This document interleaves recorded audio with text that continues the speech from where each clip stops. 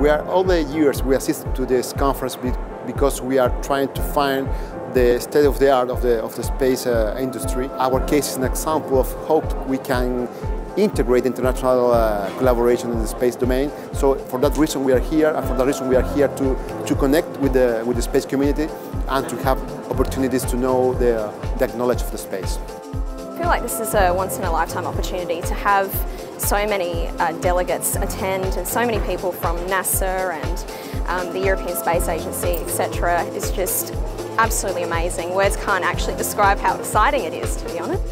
This conference as a whole is, is, such a huge gathering of people from around the world uh, in terms of government, space agencies, industries and things like that. It's just a great opportunity to learn what's going on in the field right now uh, and to bring that back into my work, which is evaluating programs and how well they're doing in the United States.